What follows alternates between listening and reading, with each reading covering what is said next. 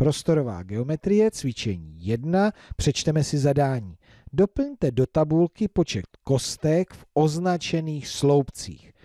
Prohlížím si stavbu, sloupce jsou označeny A, B, C, D a tady je tabulka, v které je velice slabě vidět, jak jsou políčka také označena A, B, C, D. Jdu určovat ten počet kostek. No a já to vemu od toho lehčího. Tady vemu sloupec C, kde jasně vidím, že jsou tam jeden, dva, dvě kostky, dvě krychle. Do políčka C zapisuji dvojku. D, jedna krychle, jedna kostka. B, jeden, dva, dvě. No a co sloupec A?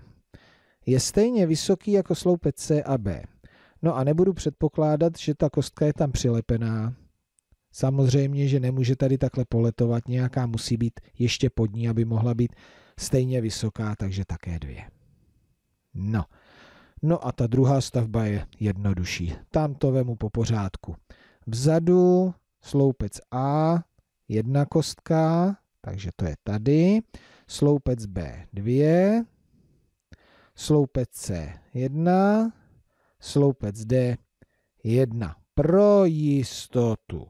Zkontrolujeme. Máme to dobře. No, vy můžete udělat tohleto cvičení samozřejmě, ale zkuste si třeba podle toho plánu postavit vlastní stavbu a nebo vytvořit vlastní plán, dát ho někomu, aby někdo podle vašeho plánu počtu kostek ve sloupcích sestavil nějakou stavbu. Zkuste to.